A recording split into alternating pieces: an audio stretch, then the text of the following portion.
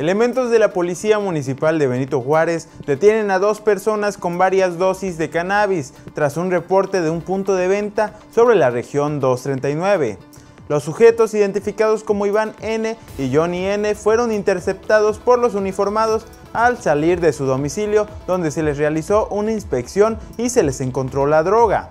De igual forma, pero en solidaridad, el sujeto identificado como Israel N fue detenido tras asegurarle varias bolsas pequeñas de marihuana, gracias a uno de los recorridos de vigilancia de la Policía Ministerial. En ambos casos ya se abrió carpeta de investigación, se decomisó el narcótico y se puso a disposición de las autoridades correspondientes.